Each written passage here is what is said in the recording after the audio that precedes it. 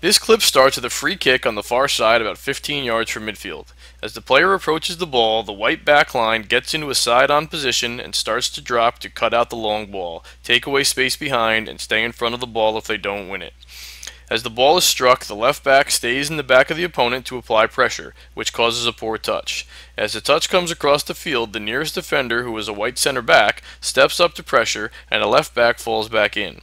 As the ball is played back and wide due to quality pressure and compact shape, the right back closes space while the ball travels and stops as the opponent takes her first touch, allowing the defender to be balanced and have enough time to react to the opponent. Because of that, the opponent chooses to pass back, and the near side number 8 travels as the ball travels to close space while reading the touch of the opponent before making a decision and is then able to step into the tackle because she has read the big touch.